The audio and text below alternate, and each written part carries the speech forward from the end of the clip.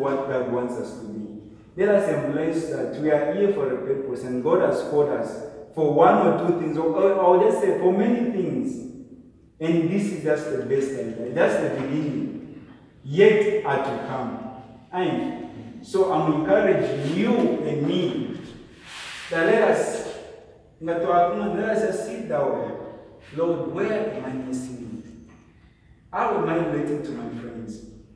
It's not normal for me to stay more than I will just date they have to know that pressures. No. One week na ikara, two weeks na ikara. Just because your precious line is come No. That will demand that if it's conflicting, I will confront that. No whoever but from my mind, just a period. Just in a right way. Love is patience, love is work, love is word. All those things that you need to do. Let us embrace this love that Christ wants us to have. And by there, we will win souls. We will definitely share the word of God. Boldly and with love.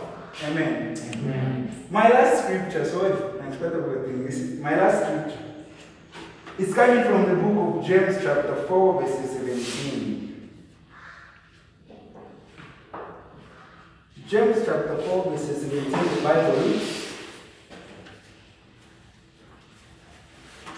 Therefore, to him who knows to do good and does not do it, it is a sin. We beg what the Lord has told us that we need to embrace this love. So if you don't, then you are just sinning against God.